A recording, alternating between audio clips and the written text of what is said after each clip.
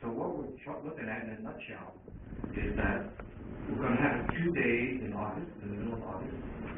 And hopefully in a theater, a proper fide theater that can see a few people. And we're gonna promote it, of course, in our Lions convention down in Seattle. And hopefully we can get some people from the international pictures come here Right. and this is Vancouver and, uh, you know, might have a state to do. And I think the funds that we are going to have to seek it, some, every cent of it, we're gonna give it to charity. Now, what we as Lions Club, we have a own but of course, we'd like to collaborate with the city to maybe go backwards and. And, uh, so, uh, so basically, what we're looking at right now is that to energize the city, put it on the map worldwide because of, because of the Lions huge convention, which is in Seattle. And get them to come here, maybe put some stuff going on for the entire week, but we only have two days.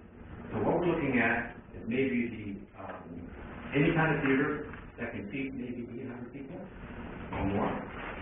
And, um, and I'm putting together right now a team of people that are like-minded, smart, energetic, and can think on their feet, and they can move fast. And now, if we do well, it can become full-time, because you're a production company. But right now, what we're trying to do is get the thing off the ground and get people energized, get people to come here to, to, my city, show them first class entertainment, show them that, uh, we care about other people, in other get every cent, I'm talking about the first class, the ticket sales will go to charity, no admin, all volunteer. Um, thanks. And, uh, you're talking about the fact that you're hoping to bring potentially cultural tourists to Vancouver as part of the celebration. Makes, it triggers me to say that also another website for folks to check out is one that we just did launch. I think that there's been a slide of it here, but it's called Celebrate Vancouver one two five dot ca.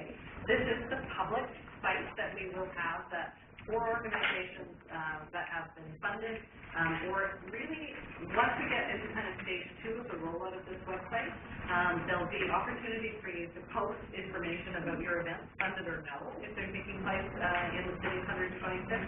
The kind kind of lots of social media components, there's blogs and Twitter feeds and, uh, videos, and, and it's meant to be really interactive. So again, if there's means that we can, as a community, come forward to say, what have we got that's happening between January and December two thousand and eleven? We're really wanting this to be, uh, a very active site that's able to help promote all of the work that we're doing in the